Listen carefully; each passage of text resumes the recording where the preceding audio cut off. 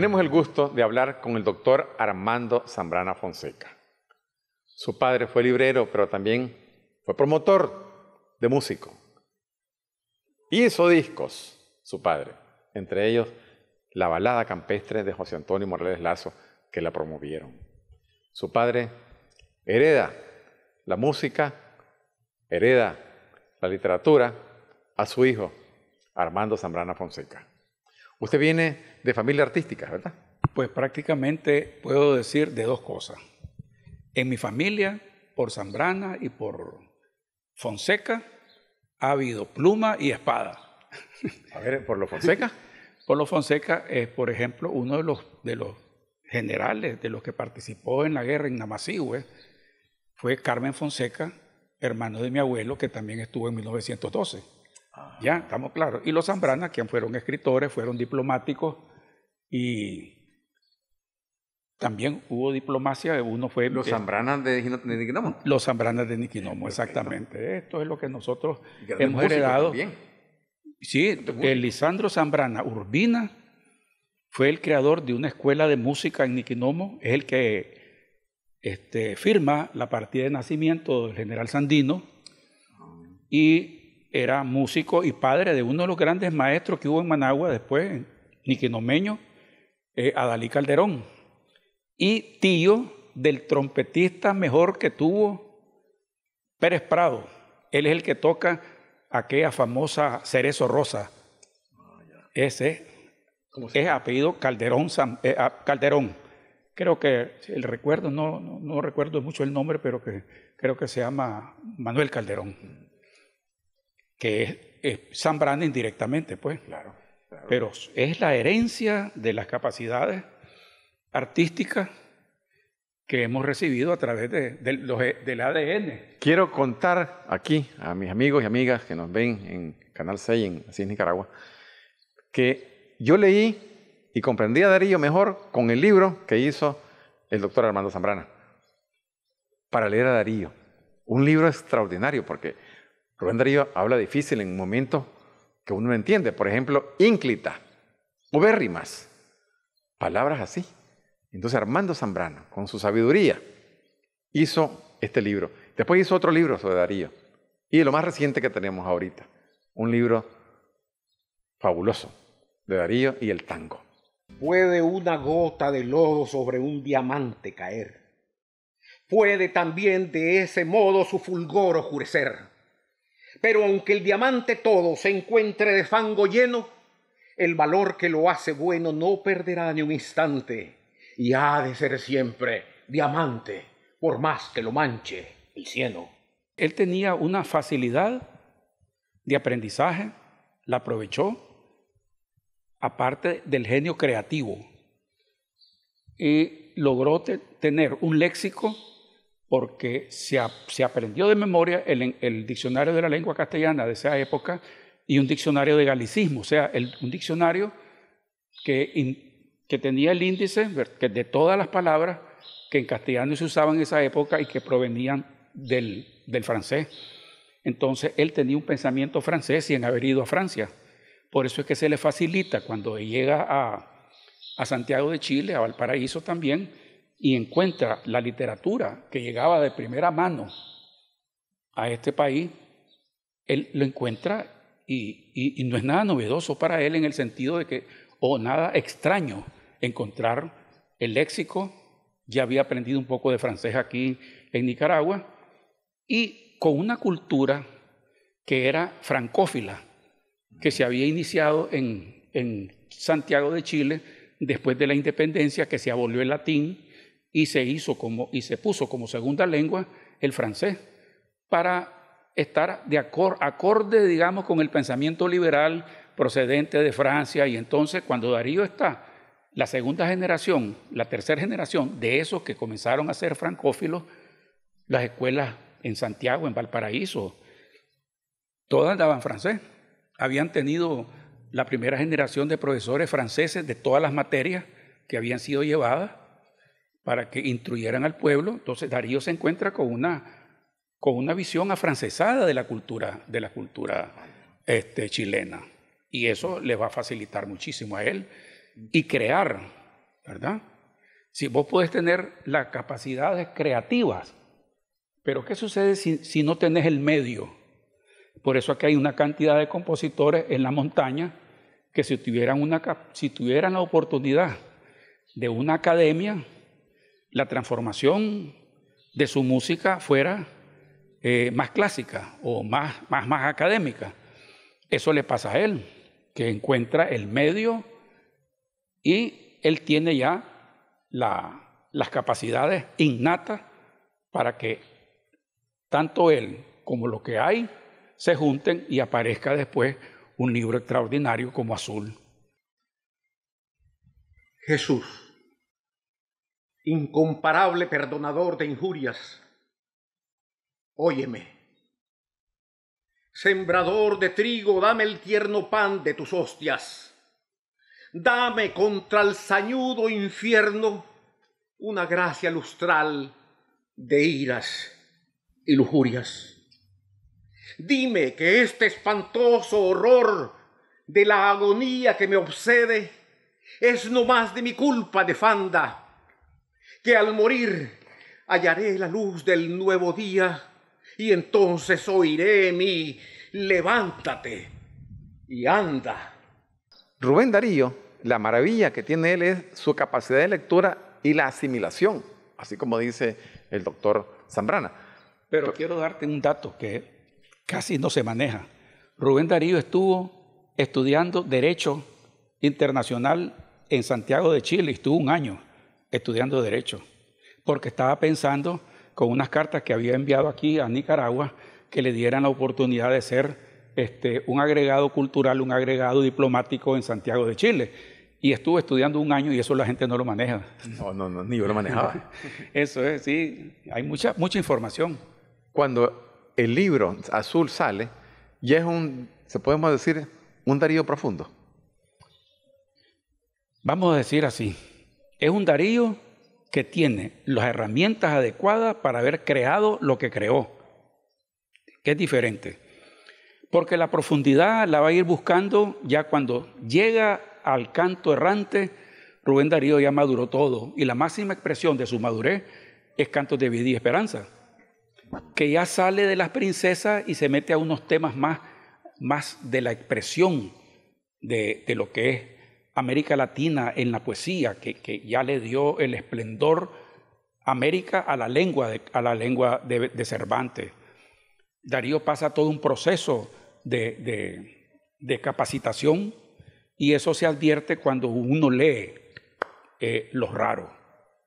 Cuando uno lee los raros, uno se da cuenta de que el hombre eh, eh, se pregunta, aquí viene la pregunta, bueno, pero ¿cómo es que sabía tanto este hombre para poder escribir de los mejores poetas y escritores que habían en Francia antes del 94? antes que llegue él a, Buenos Aires, porque su lectura desde, desde Santiago de Chile, el periplo que hace después por España, regresa a Nicaragua y va para Francia para llegar en agosto del 93 a, a Buenos Aires, él va cargando una gran cantidad de libros y va leyendo en francés. Asústese, mi querido amigo, cuando, lee, cuando usted lee a Richard Pan, que es uno de los raros, él dice que es un eh, píndaro atorrante. Si usted lee que es un píndaro atorrante, bueno, usted sigue leyendo si no sabe nada, pero alguien que sabe dice, píndaro y atorrante. Píndaro es un poeta de antes de Cristo, cualquier cantidad de años antes de Cristo, muchísimos años antes de Cristo de la cultura griega. Y atorrante es una palabra del lunfardo bonarense. ¿Y por qué mezcla eso? Porque Pan había hecho poesía con jerga y también Píndaro había hecho poesía con jerga de la griega de hace más de dos mil años. ¿Cómo estaba enterado de Darío de eso? Conocer a Pan conocer a la Torrante y conocer a Píndaro. Una maravilla. Es decir, eso, la pregunta que me hago yo, ¿a qué hora es que andaba borracho Darío? Fue genial. Un muchacho, joven, se leyó la Biblioteca Nacional cuando estaba aquí en Managua. Rubén Darío tenía sus gustos especiales. Era un hombre que le gustaba cocinar, le gustaba tocar también el acordeón, piano, le gustaba el nacatamal, huevos pasados con una brasa. En brasa. En brasa. Rubén Darío era un hombre con gustos muy nicaragüense, pero también universal. Ahora, cuando dice Rubén y entra a trabajar, las palabras ínclita y ubérrima, ¿de dónde viene eso? Porque yo no lo entendí hasta que leí su libro. Son palabras que son de un castellano muy culto. Pero hay otras cosas como, por ejemplo, eh, y bebe falerno en eburnio triclíneo. ¿De dónde está? Y sale en divagación. Entonces dice uno, pero, ¿qué es esto? Entonces me acordé que en 1967, para el centenario, uno de los grandes escritores que vino a Nicaragua para la celebración de esos 100 años del nacimiento de Darío dijo, pero ¿por qué no se hace un diccionario?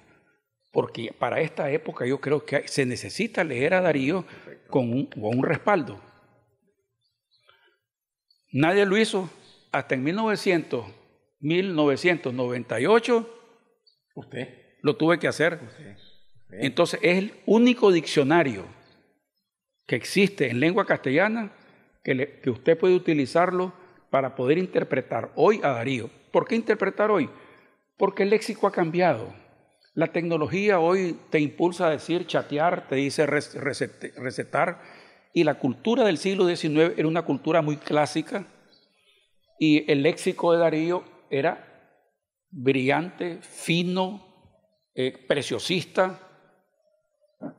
Y cuando hace alusión y bebe falerno, bueno, ¿qué era el falerno? El falerno era un vino napolitano que todavía se sigue haciendo y de hace más de 3.000 años y se sigue haciendo. Una botella cuesta como 5 mil dólares.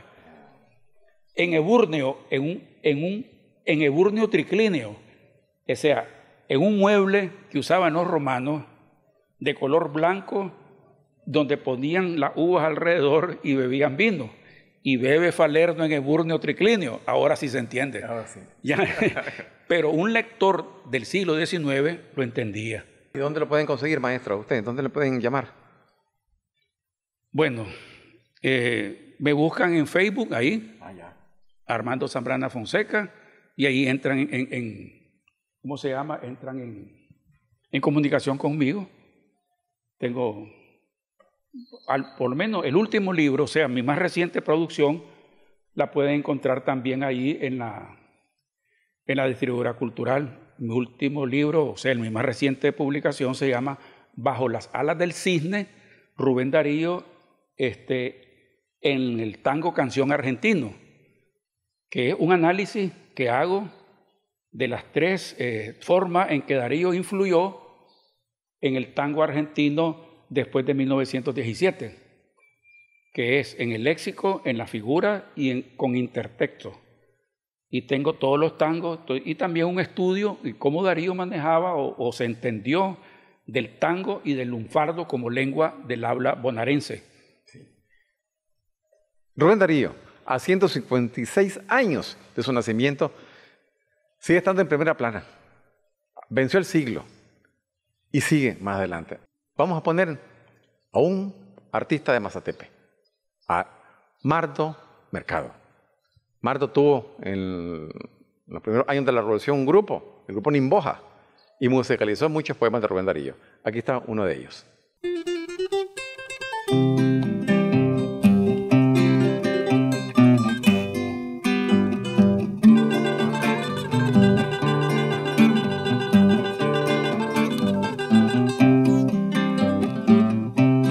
Blanca más blanca que el lirio, frente manca más blanca que el cirio, que ilumine el altar del Señor.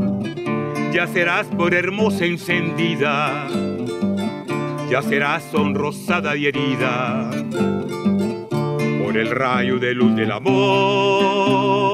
La labio rojo de sangre divina, labio donde la risa argentina, junto el algo marfil al clavel, ya veréis como el beso os provoca cuando Cipris envía esa boca. Sus abejas sedientas de miel, manos blancas cual rosa bendita, que sabéis deshojar margarita, al fresco rosal del pensil, ya daréis la canción del amado cuando iráis el sonoro teclado del triunfal clavicorno de abril.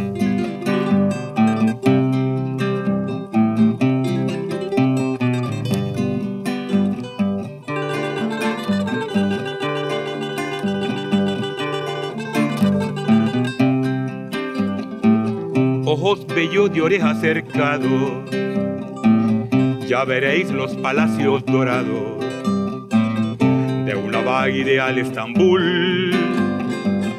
Cuando lleven las hadas a oriente, a la bella del bosque durmiente, en el carro del príncipe azul, blanca flor de tu cáliz risueño la libélula errante del sueño, el vuelo de los blanca flor. Primavera su palo levanta y hay un coro de alondras que canta la canción matinal del amor. Manos blancas cual rosa bendita, que sabéis deshojar margarita, junto al fresco rosal del pensil daréis la canción del amado cuando iráis el sonoro teclado del triunfal clavicordio de abril, blanca flor de tu caler risueño